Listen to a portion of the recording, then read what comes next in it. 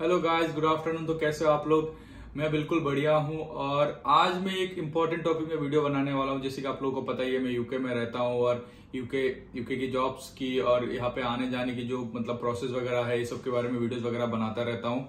और आज की जो टॉपिक है, आज की टॉपिक बहुत इंपॉर्टेंट है।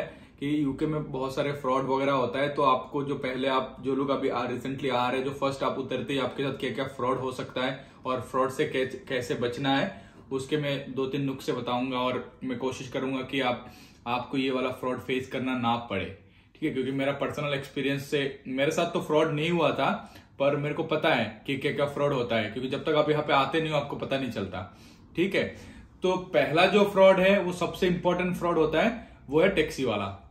तो आपको प, आपको पता है आप एक नया कंट्री में आ रहे हो शक्ल देख के बता देता है उनका रोज का काम है कि नया बंदा है इसको वो आपको टैक्सी मीटर से ले जाएगा थोड़ा घुमा के ले जाएगा पैसा ज़्यादा लगेगा। तो टैक्सी वाले से बचने का दो तरीके एक तो आप उबर कर लो यहाँ आते ही उसके लिए आपको कंट्री चेंज करना पड़ेगा आपके फ़ोन में। या यूके लैंड होती है आप यूके डाल दो ऊबर की ऐप में फिर आप टैक्सी बुक करके जा सकते हो।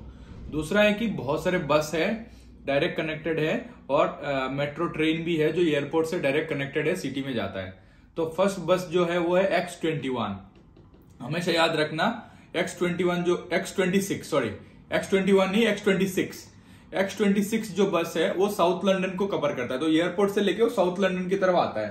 तो आप ये उस बस में चढ़ जाओ, उसमें फ़ोन चार्जिंग का लगेज रखने का लगेज उठाने का सारा इंतज़ाम है उसके अंदर। उस वाला बस ले लो एयरपोर्ट से बाहर आ जाओ, फिर दो तीन स्टॉप उतर के फिर वहाँ से टैक्सी बुक कर लो, सीधा चले जाओ।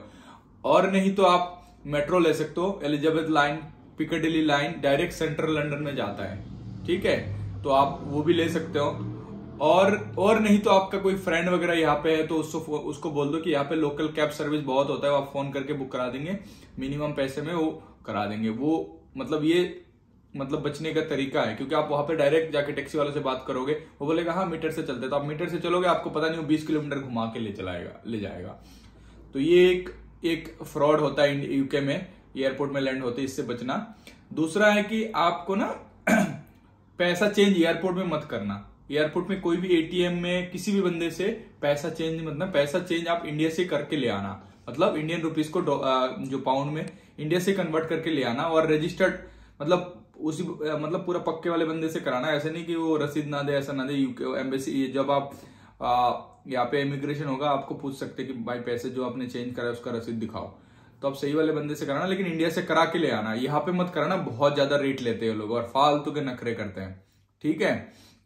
और तीसरा है कि आप जब घर वगैरह ऑनलाइन बुक करने की कोशिश करते हो यहाँ पे इंडिया से पे कोशिश करते हो या यहाँ आके कर सकते हो कभी कभार ये लोग कहते हैं कि आप रूम बुक करने के लिए टोकन मनी दे दो, थोड़ा सा पैसा दे दो।